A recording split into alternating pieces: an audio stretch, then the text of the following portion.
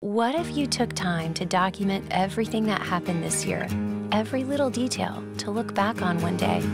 Sure, you'd look back on moments that were, well, interesting, like figuring out how to do online school with your kids and maybe learning you weren't the best teacher, embracing a new online church routine with your family, tying balloons to your car for drive by birthday parties and baby showers, and waving to your friends from afar.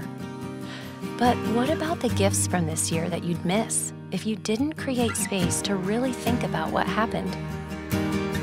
This is the reason we created the Reflect and Restore Journal.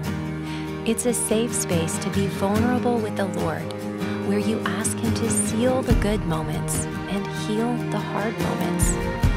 Each section of this journal was prayerfully crafted to give you a place to record events from your year, as well as your heart's thoughts, hopes, fears, and prayers. The final sections encourage you to take all you've learned and look expectantly to the year ahead. God was surely with you in this one, and we know He'll be with you in the next. Visit p31bookstore.com to get your copy of the Reflect and Restore Journal today.